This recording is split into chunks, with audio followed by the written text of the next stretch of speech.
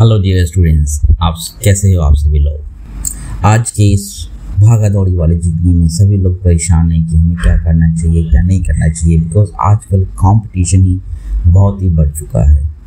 अगर मैं अपनी खुद की बात करूँ, आज से पंद्रह साल, बीस साल पहले कि इतना कंपटीशन नहीं था, लेकिन आज देखो, सभी बच्चों में इतना कंपटीशन हो गया, चाहे आप किसी भी फ़ील्ड में जाओ, चाहे वो मेडिकल हो इंजीनियरिंग हो आर्ट्स हो ह्यूमैनिटीज़ हो, या वोकेशनल्स हो, है ना?